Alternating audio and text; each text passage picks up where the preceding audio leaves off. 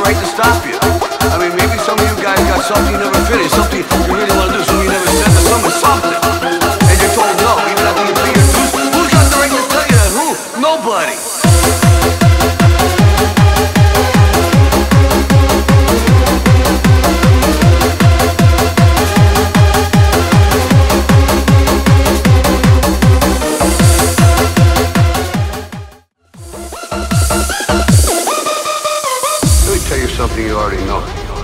The world ain't all sunshine and rainbows.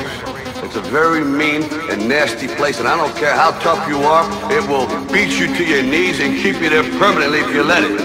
You, me, or nobody is gonna hit as hard as life. But it ain't about how hard you hit.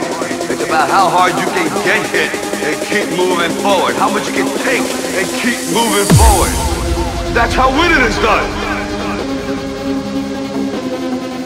That's how winning is done.